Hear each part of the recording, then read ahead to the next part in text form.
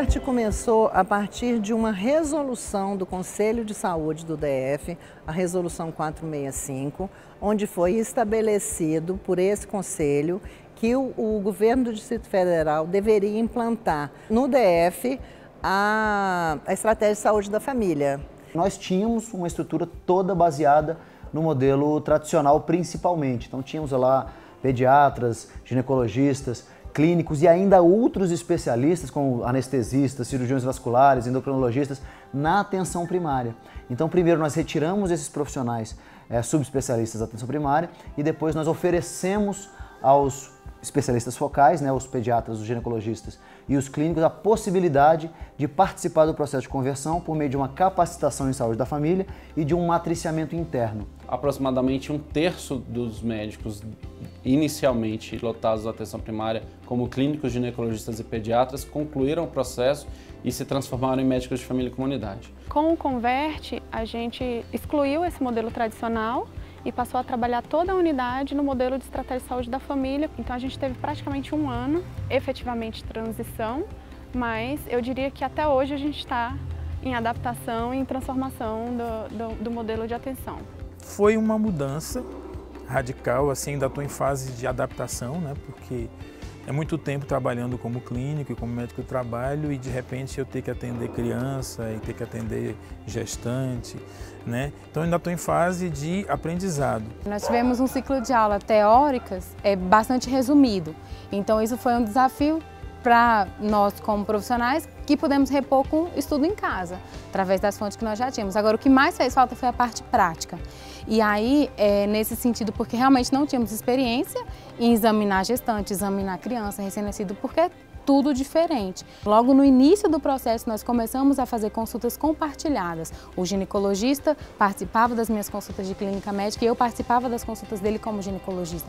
Então, isso ajudou a sanar essa dificuldade prática que nós não tínhamos. Eu acho que o principal reflexo disso para o profissional de saúde é a questão dele se sentir mais resolutivo. Hoje ele consegue resolver mais situações em relação àquele usuário que o procura. E para a população, porque a gente percebe uma qualificação da assistência e a gente consegue resolver a sua demanda dentro da sua comunidade, sem precisar que haja um deslocamento dentro de uma rede, né, que às vezes fica inviável para aquele usuário. Nós saímos de 28% de cobertura de saúde da família em 2015 para agora cerca de 66,6%. Cultura de estratégia da família que era bastante baixa e esse era o maior desafio, porque aqui precisou-se dizer para a população é, que estratégia da família era bom. O que estados que têm maior cobertura ou municípios que têm maior cobertura podem ter maior facilidade por terem um modelo já mais robusto.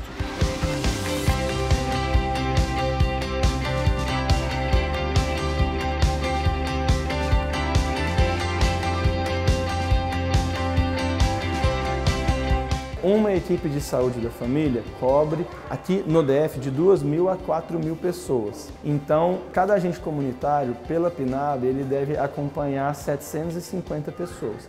Numa equipe de saúde da família, que eu não tenho o total de seis agentes comunitários, ou seja, que eu não tenho o total de agentes comunitários para dar conta de todas as microáreas, aqueles agentes comunitários que estão ali, eles elegem as famílias mais vulneráveis para fazer esse, esse acompanhamento e esse seguimento. Nós temos uma área definida, um território que as equipes possam cadastrar seus usuários. Depois do cadastramento de verdade individual desses usuários, nós podemos realmente redefinir territórios, avaliar a necessidade daquela população e avaliar qual a necessidade de equipes para aquele território. A presença do profissional que cuida do, do, da família como um todo em maior tempo dentro da unidade é, facilita esse acesso, facilita o cuidado, melhora essa interação. O profissional consegue entender um pouco mais a, a necessidade daquele, daquele território.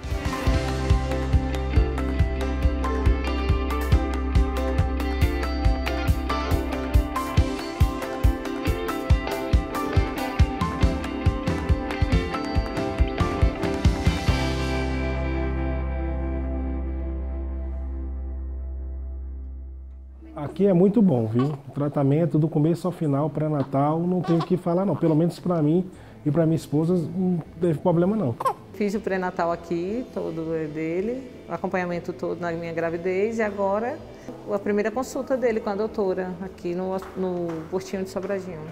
E eu gosto de conhecer o paciente, de me envolver, de saber como é que ele vive, onde ele mora, como é a família, né? É, isso me atrai, eu gosto disso. A pediatria faz isso naturalmente. Então, ficar na medicina de família e comunidade é uma oportunidade de também continuar trabalhando com essa com esse modo assim, né, de poder acompanhar o paciente.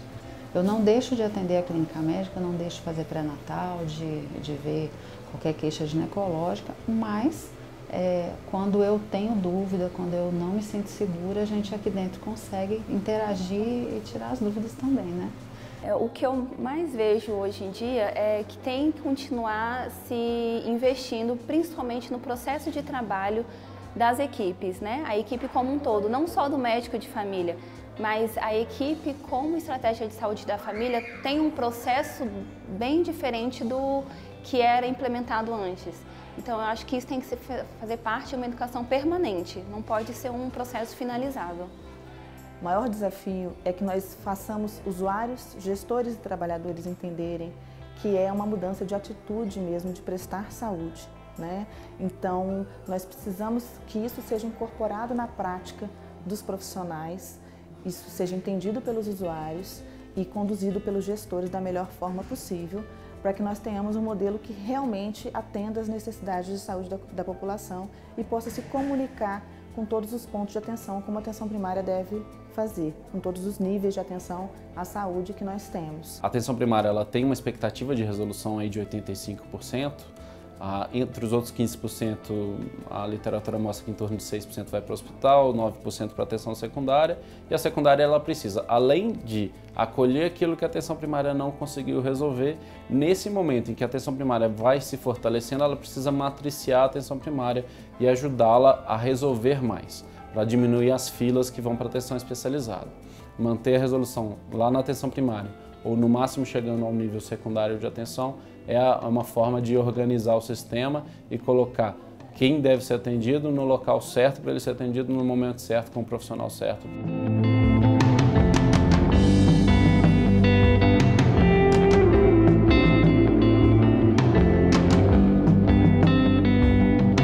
O gasto com saúde pública não para de aumentar, nós temos um envelhecimento da população, nós temos um adensamento tecnológico da saúde, nós temos com frequência crises econômicas que levam as pessoas a demandar mais da saúde pública. Então eu acho que sim, a melhor alocação de recurso público é em atenção primária, é em saúde da família, mas não basta. Eu tenho certeza de que nós precisamos aumentar o financiamento do Sistema Único de Saúde e isso é, é, é papel de todos os gestores é, em, em, todos os níveis federativos, mas é, um, é principalmente hoje papel da, da União, do Ministério da Saúde. Nós tivemos uma, redução bastante significativa da participação da União nos, no, nas despesas da saúde, né, no, no, financiamento da saúde, isso precisa ser recomposto. Nós temos que aumentar o, o, nível de financiamento da saúde em geral, mas principalmente a parcela relacionada à União, porque hoje estados e municípios estão arcando com, essa, com esse aumento da demanda sozinhos.